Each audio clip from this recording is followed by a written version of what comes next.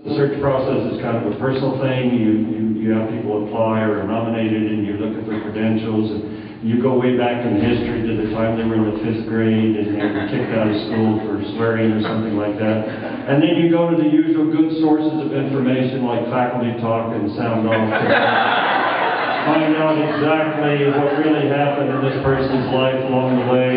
And once you get through all of that, then uh, the regents uh, have to make a decision. But the point is, that's a very individual thing to go through a search and to be chosen to do anything, particularly in a university. And so that, that process will end today if they so choose to ratify my contract. So that's the end of the individual stuff. We're now past individual.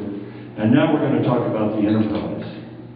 And I'm very focused on the enterprise. And the enterprise is New Mexico State University. It's our students, our faculty, our staff, and our state.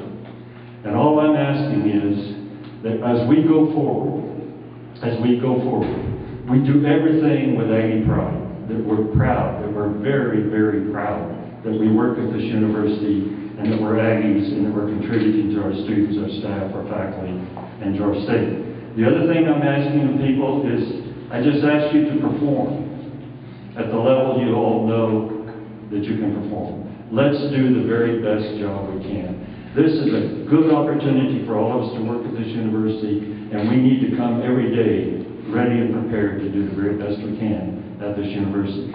And the last thing I would ask you to do is always promote the enterprise. This comes from Jim Collins. Always promote the enterprise instead of yourself. It's all about the enterprise, and that enterprise is New Mexico State University and the Aggies and our students, faculty, staff, and our state. Thank you all for coming.